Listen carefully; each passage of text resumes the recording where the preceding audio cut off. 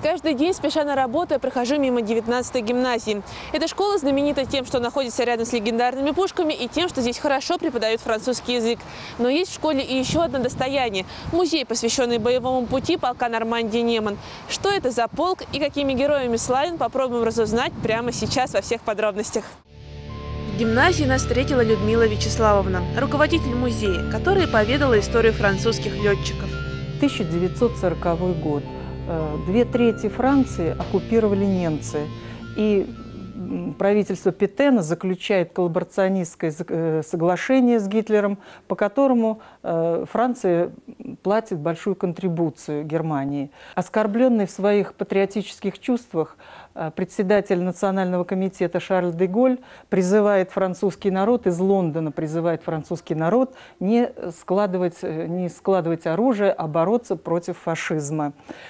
И на его призыв откликаются французские летчики.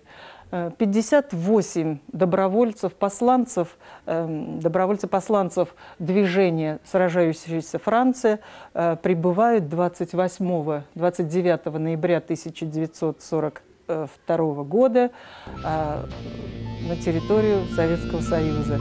Французы прибыли в Иваново из жаркого Ливана 4 декабря, когда русская зима уже давно вступила в свои законные права.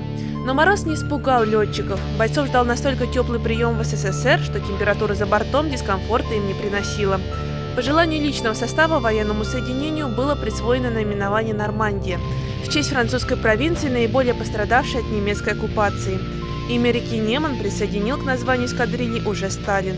В мае 1944 года полк прибывает на Белорусский фронт – Э, э, и очень успешно форсирует вместе с советскими летчиками э, реку Неман, за что командование Советского Союза, командование Сталин дает второе наименование, значит, Неманский. Отныне полк именуется Нормандия-Неман. Однако вернемся к началу боевого пути летчиков. 22 марта они прибыли на полевой аэродром «Полотняный завод». Там французов прикрепили к 261-му бомбардировочному полку. И уже 26 марта Дюран и Гервиль вылетели на перехват немецкого разведчика. В полотняном заводе авиаторы не задержались. Они перебазировались в Козельский районный аэродром Хотенки. Здесь они провели не один бой. Были победы, но не обошлось и без потерь. 17 июля э, с аэродрома Хотенки вылетели французские летчики под командованием своего э, командира Жан-Луи Тюляна. В этот день э, они совершили по 3-4 вылета, 25 вылетов всего.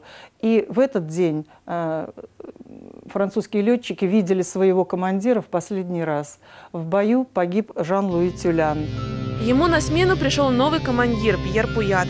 С ним летчики участвовали во второй кампании на Белорусском фронте, где произошла трагедия, затронувшая сердца и русских, и французов. Погибли пилот Марис Десен и его механик Владимир Белозуб. 30 минут всего нужно было пролететь, но э, все увидели, что самолет Десейна возвращается на аэродром. И сзади э, идет струйка э, бело, белого дыма. Значит, э, горючее залило кабину и ослепило пилота.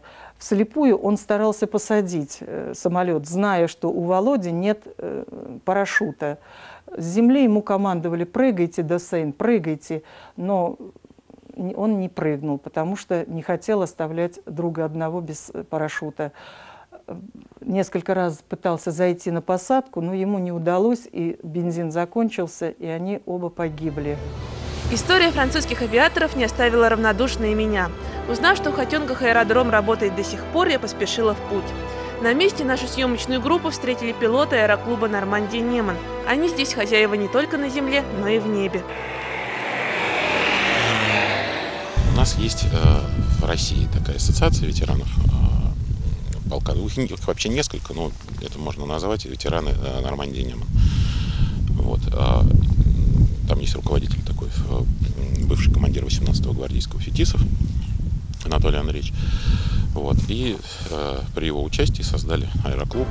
Начальник штаба Олег Комаров, командир первой эскадрильи 18-го гвардейского полка, базирующийся на Дальнем Востоке.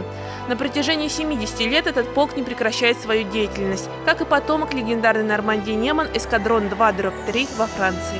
Мы участвуем в соревнованиях, мы проводим э, э, исторические реконструкции, в том числе с э, Калужским клубом военной реконструкции, Калужский гарнизон называется. Вот. Это подыгрыш, имитации воздушных боев. Вот. Ну, плюс, конечно, соревнования и обучение. Обучению подвергли и меня. Усадили в самолет, снарядили связью и в путь. В кабине пилота я попыталась представить, каково это было пролетать над разрушенными деревнями и селами. Каково было воплощать стратегические планы командира в воздухе.